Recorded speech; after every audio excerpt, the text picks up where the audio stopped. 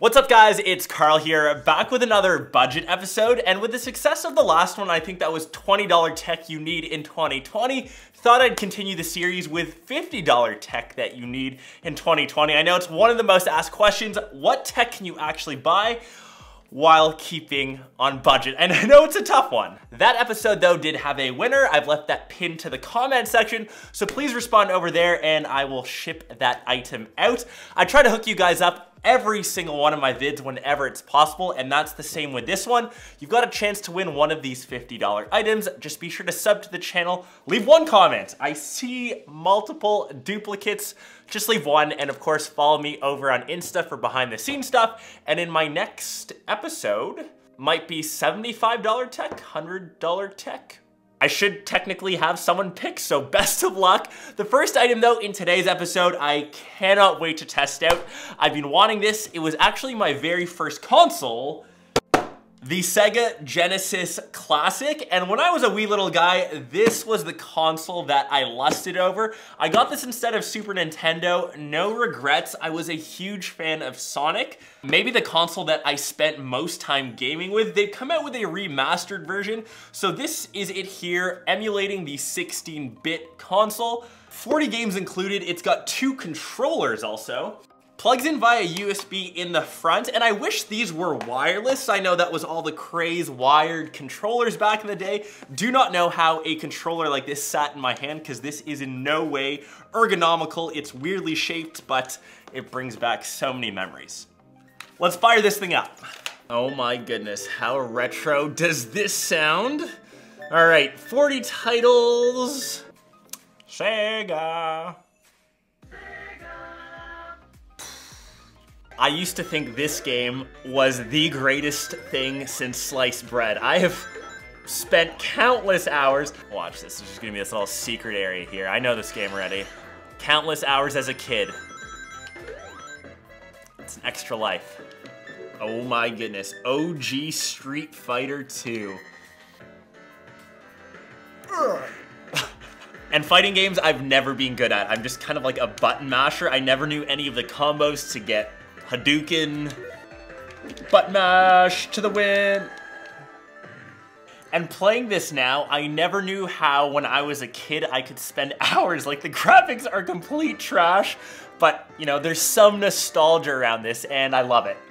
And for all of you retro peeps, I will bring a classic Xbox into this video. You can easily get this under 50 bucks. Not too sure if any of you know where this limited edition crystal one came from.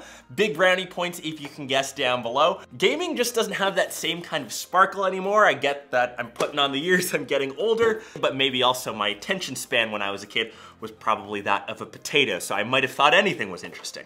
And to keep on the gaming theme, but making things a bit more modern, we do have an Xbox controller. I do rock this for my Xbox One X. This is a custom painted one though from Colorware, and I know that you can get a skin for say 10, 15 bucks, but on controllers or items that have a ton of curves, skins just don't fit as well no matter how much of a master or a robot you are to apply them.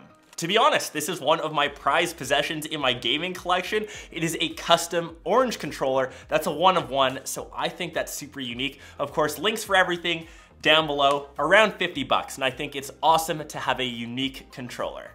The next piece of tech under 50 bucks, we're going back retro again. This is the Fujifilm Instax. I got this actually as a gift for people on the channel that are too young to remember. This is what cameras used to look like back in the day. The thing about digitals, you never see them after you take the photo. At least I never print any of mine. These could be fun little collectibles, things to take with friends. I'll take one of my setup. That is my friend for the day. All right, photo taken. Something should be coming out up the top. You're not actually supposed to shake it like the song.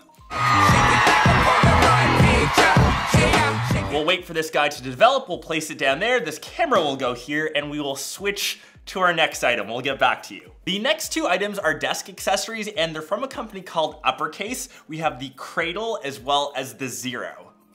And when you do rock a monitor setup, you typically have your MacBook closed. It does kind of take up space when it sits on the side. I've seen other solutions before, but the Kradl is one of the most minimal. For example, I've got my MacBook Pro. It slips into here nicely, and on the side, you can see you have access to all of your USB-C ports. That will run to, say, a monitor, there is a tad bit of give, but you never need to worry that your MacBook Pro will fall over. It's sturdy enough. I love the fact it's in the exact same space gray. I think that does make a pretty dope gift. And coming on over to the Zero, this is a headphone stand holder. If you need a place to show off your headphones or you don't like your headphones to sit on the ground, I think having them showcased here makes them look just a tad bit neater and of course keeping things super minimal.